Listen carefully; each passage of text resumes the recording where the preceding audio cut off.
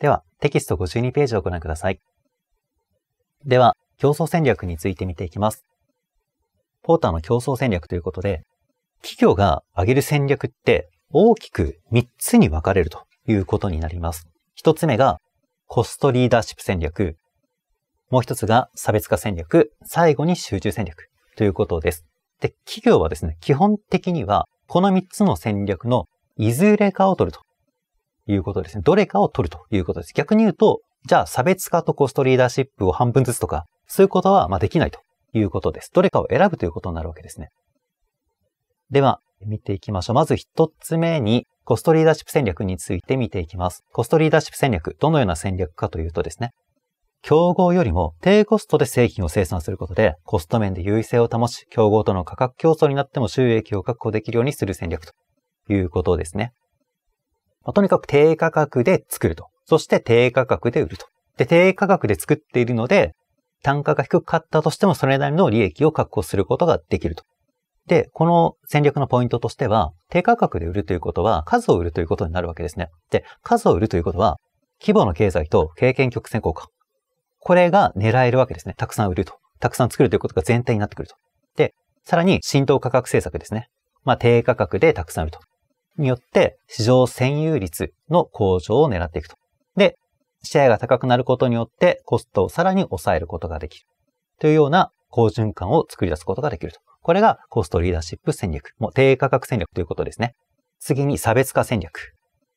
差別化戦略。これは自社の独自性によって競合と差別化を図って顧客にとっての魅力と価値を創造して競争優位を獲得する戦略ということになります。で、どういったところで差別化するのかと。品質であったり、デザインであったり、イメージ。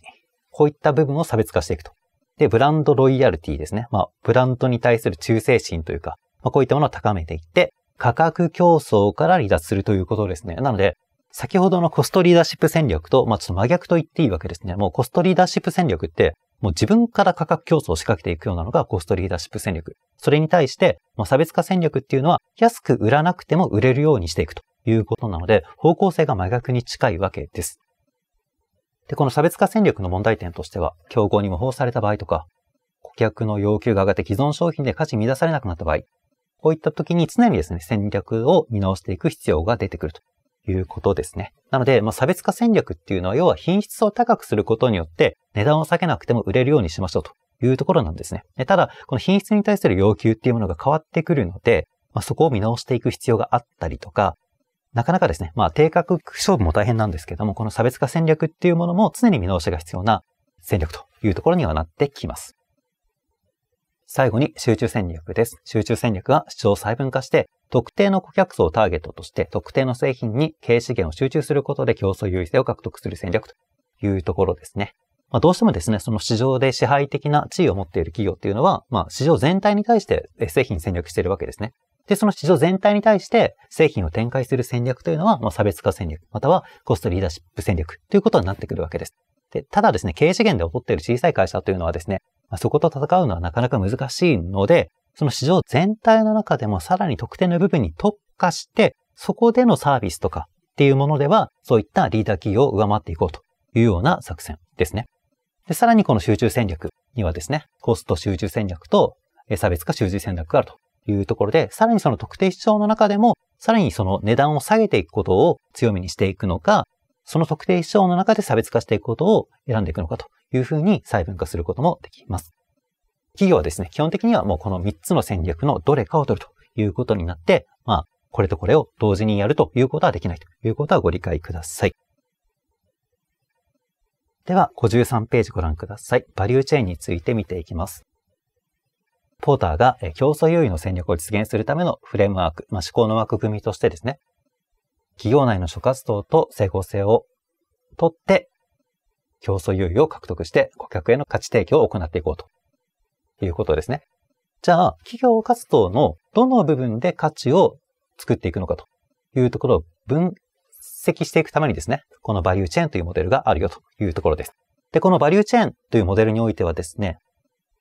5つの主活動と4つの支援活動というふうにしてですね、企業活動全体の中でも分けていくことができると。で、具体的にはですね、こう5つの主活動、購買物流、製造、出荷物流、マーケティング販売、サービス。これが5つの主活動。そして4つの支援活動が、全般管理、人事労務管理、技術開発、調達活動と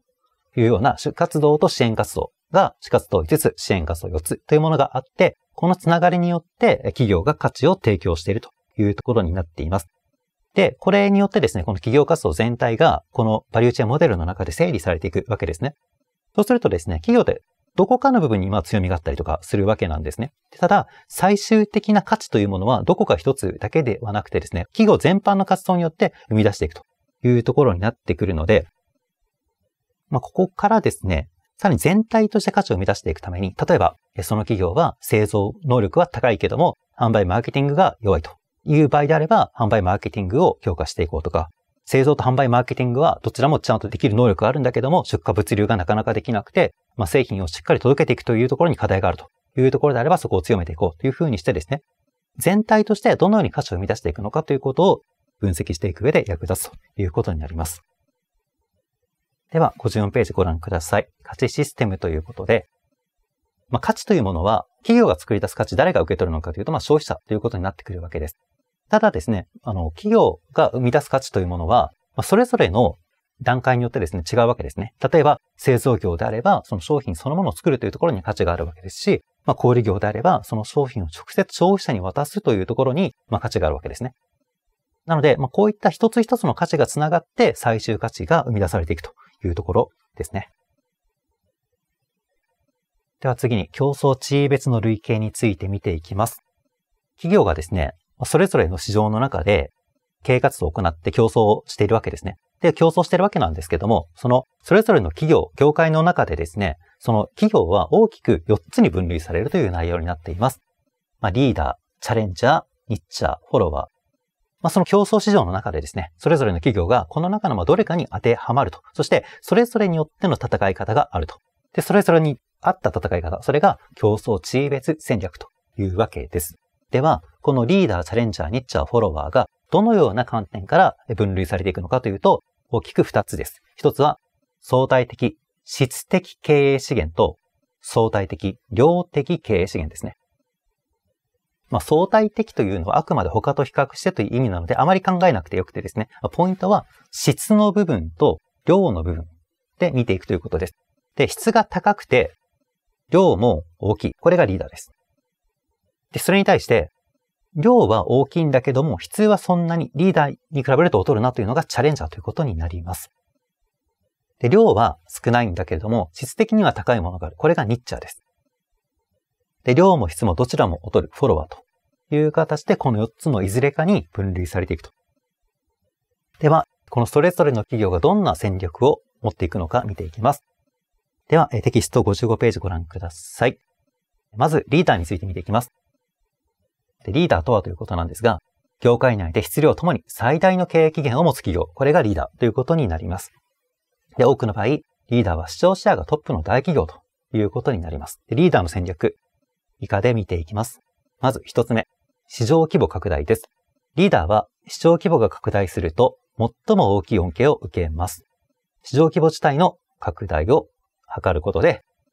自分自身がさらに強くなっていこうというところですね。市場が大きくなったら、例えばそのリーダーがその市場の50%を占めているとしたら、その大きくなった分の50%分が全てま自分のところに来るというところになってくるので、市場規模自体を拡大していくというものがリーダーの戦略ですね。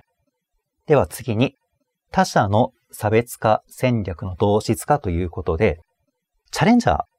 リーダーに対してチャレンジャーっているんですけども、チャレンジャーって基本的にリーダーに対して差別化してくるんですね。リーダーと同じような、全く同じようなものをやっているとですね、どうしてもやっぱりブランド価値だったりとかはリーダーの方が強かったりするので選ばれないので、なのでリーダーがやってないことをやったりとかしてくると。で、そうやってリーダーと対抗しようとしてくるわけなんですけども、リーダーってある程度経営資源の質もあるわけなので、他者がそういうことを自分のやってないことをしてこようとしたら、もう同質化、もう豊富な経営資源を用いて、その差別化を模倣追随すると。自分たちも同じことをやってしまうと。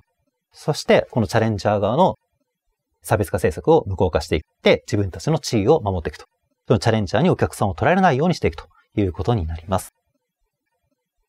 次が非価格対応ということで、価格競争になる場合、リーダー企業は一番の損害を受けるため、価格競争への対応は極力避けようとしますと。なので他の企業がですね、低価格でなんとかリーダーに対応してこようとしてきたとして、で、それによってリーダー自身も販売価格下げてしまえばですね、まあそれによってシェア自体は守ることができるんですけども、ただそれをやることによって一番損害を受けるのはリーダーになってしまうと。なので、リーダー企業は価格競争をしていくのではなくて、価格競争をしてくる企業が出てきていたとしても、そこにシェアを奪われないようにどうすればいいかというようなことがリーダーの基本姿勢ということになります。フルライン戦略です。このフルライン戦略、これはですね、ある製品に対して市場全体に対応するということ戦略です。低価格から高価格まで様々なニーズに対応して顧客の流出阻止と新規の獲得を図るということですね。なので、その市場の中にもいろんなお客さんがいていろんなニーズがあっるわけなんですけども、まあ、そのニーズすべてにもう対応していってしまうということですね。ただ、これに関しては大量の資源が必要なので、大企業向けの戦略となるわけですね。まあ、ただ、経営資源があるのであれば、これをやることによってですね、結局、そのブランド力はリーダー企業が一番強いので、結局、じゃあそこのいろんなニーズがあっても、リーダー企業の製品と他の企業の製品があったら、リーダー企業が選ばれるということになるわけですね。ただ、リーダーがやってないところをやってる企業があると、そこに奪われてしまうので、まあ、それを阻止しましょうというところですね。では次にチャレンジャーについて見ていきます。チャレンジャーは経営資源の量は相対的に大きいけれども、質的にリーダーに及ばない企業ということですね。市場シェアはリーダー企業に次ぐ規模を占めていると。で、基本的にはリーダーとの差別化を目指していくというのはさっきお伝えした通りです。次にニッチャー。ニッチャはこれよく出てくるのでしっかり押さえておいてください。質的な経営資源に優れているが、量的には劣る企業のことですということで、これはですね、質的な経営資源には優れているというのは、なんかこう、特殊な価値を発揮できるような感じですね。で、こういった特殊な能力を持っている特殊な価値を発揮できるような会社というのは、リーダーが狙わない隙間市場、小さな市場の中においてですね、その中でのリーダーになることを目指していくというところです。まあ、集中戦略ですね。続いて56ページをご覧ください。最後にフォロワーです。フォロワーは経営資源の質量ともに相対的に劣る企業ということですね。現段階では市場シェアを狙えるような際立った独立性を持っていないので、まあ、リーダーに挑戦せず、チャレンジャーの取り残しを狙いながら市場での地位を確立していくということで、まあ、細々とちょっとずつお客さんを作っていくというような感じですね。で、こちら、下の方の表にですね、それぞれの特徴がまとめてあります。まあ、どうしてもですね、まあ、フォロワーに関しては、